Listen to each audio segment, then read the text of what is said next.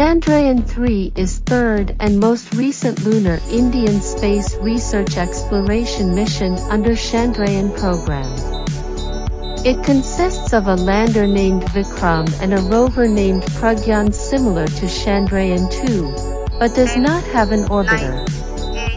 Its propulsion module behaves like a communication relay satellite. The propulsion module carries the lander and rover configuration until the spacecraft is in a 100 kilometers lunar orbit. normal P1 tracking. Chandrayaan-3 is third and most recent lunar Indian space research P2 exploration mission under Chandrayaan program. normal. It consists of a lander named Vikram and a rover named Pragyan similar to Chandrayaan-2, but does not have an orbiter. Its propulsion module behaves like a communication